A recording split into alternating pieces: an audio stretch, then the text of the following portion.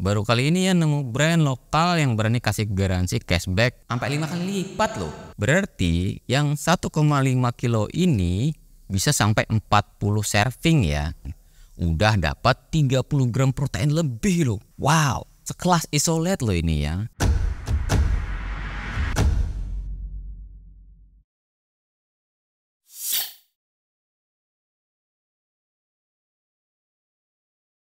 Halo teman-teman semuanya, kali ini kita bakal review suplemen dari Fit Life, yaitu Pro Isolate. Yang gua pegang ini adalah kemasan yang 1,5 kilo ya, kemasan box. Dan kalau kita buka kemasan di dalamnya, ada lagi kemasan ziplock warna kuning yang bertuliskan Honest Nutrition. Per servingnya di sini cuma 30 gram. Dan itu udah dapat 25 gram protein.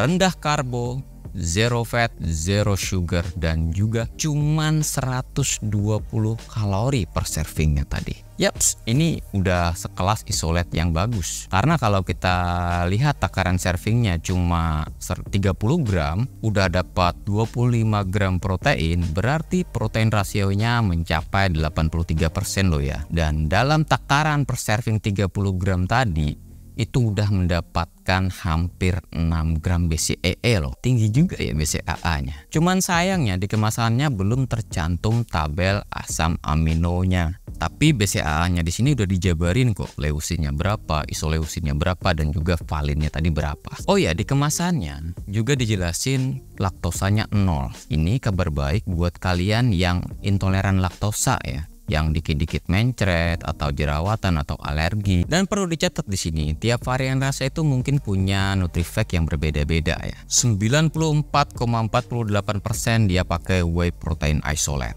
Wow, berarti sisanya itu cuma buat penambahan pengental, pemanis dan perisaknya ya. Dan ini menandakan kalau Fit Life Whey Pro Isolate ini udah bebas filler ya dan juga udah bebas dari amino spiking. Dan ini adalah salah satu alasan dia punya BCA tinggi, gluten free dan juga uh, zero lactose ya. Karena dominannya itu komposisinya adalah dari whey isolate-nya tadi. Untuk pemanisnya dia di sini pakai dua pemanis yaitu dari sukralosa dan juga steviol glikosida. Pertanyaan gua nih ya, sebenarnya ini whey isolate-nya pakai jenis apa? Dan tuh gua tanya sama mereka dan mereka menjawabnya whey isolate yang mereka pakai ini dari USA. Itu pakai dari Glanbia. Oh ya, Fit Life Whey Pro Isolate ini punya banyak varian rasa loh ya. Ada Chocomac, Japanese Matcha, Taro, Thai tea, dan juga vanilla mint. Kalau soal rasa, gue lebih demen yang cokomak ini. Kalau rasa-rasa yang lainnya sebenarnya enak juga. Cuman di antara lima rasa tadi, gue tetap pilih yang cokomak. Ya karena kan setiap orang seleranya beda-beda ya. Fit Life Web Pro Isolate ini udah Bepom. Nomor Bepomnya bisa kalian lihat sendiri dan juga termasuk pangan tambahan tinggi energi protein. Dan udah halal juga Sertifikatnya bisa kalian download sendiri di websitenya www.gofitlife.com ya. Uji analisis labnya juga udah ada di situ dianalisa oleh SIG dan dari hasil analisis lab itu untuk proteinnya udah cakep ya udah sesuai dengan yang mereka klaim juga. Gue sering banget dengar orang-orang itu pada nggak berani beli produk lokal karena katanya takut nggak sesuai. Nah, ada info menarik di sini buat kalian.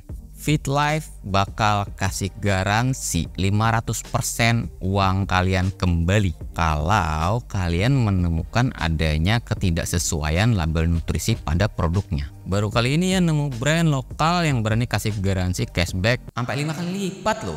Kalau memang terbukti nggak sesuai, makanya mereka berani nulis honest nutrition di kemasannya. Ini gue beli yang kemasan 1,5 kilo ini di harga 750 ribu. Dan ternyata gue baru dapat info dari mereka bahwa September ini bakal turun harga Yang 1,5 kilo ini jadi cuman 690 ribu. Kalau tahu gitu ya mending nunggu September gue beli dan ini buat 50 kali minum. Kalau harganya tadi 690.000 berarti per servingnya cuma 13.800an. Dan untuk harga per gram proteinnya berarti 552 rupiah per gram protein.